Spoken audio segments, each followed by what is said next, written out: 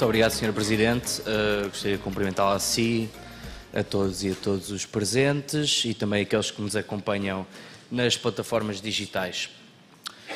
Ora, o projeto Combos iniciou-se em 2018 com o objetivo de colmatar as carências de mobilidade urbana que existiam na rede de serviço de transporte público em Oeiras.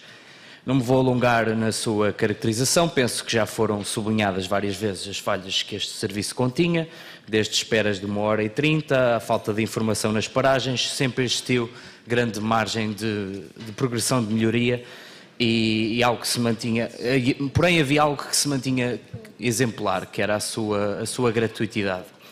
Ora, como sabemos, o Combos uh, foi integrado na rede da Carris Metropolitana e quanto a isso não vemos nenhum mal que a rede seja, portanto, universal. Contudo, não podemos deixar de sublinhar o facto de, de um serviço gratuito ter se tornado pago. Mais uma vez, o município de Oeiras faz o caminho inverso do progresso.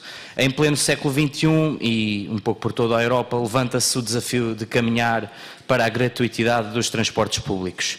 Aqui, neste assunto em específico, demos um passo atrás.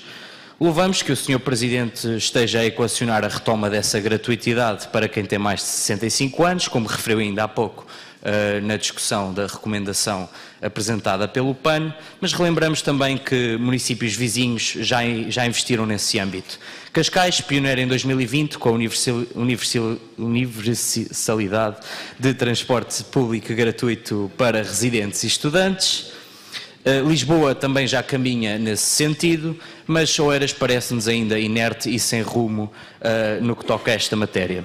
Relembro que o Grupo Político Evoluir Oeiras apresentou nas suas propostas a incluir nas grandes opções do plano de 2023 uh, na Câmara Municipal de Oeiras a medida de gratuitidade do passe navegante metropolitano, família ou individual, para residentes no Conselho de Oeiras que ofiram um rendimento inferior a 900 euros. Medida essa que foi rejeitada pelo Executivo de maioria do INOV. Pergunta assim ao Executivo, por que não se manteve os circuitos do combos gratuitos?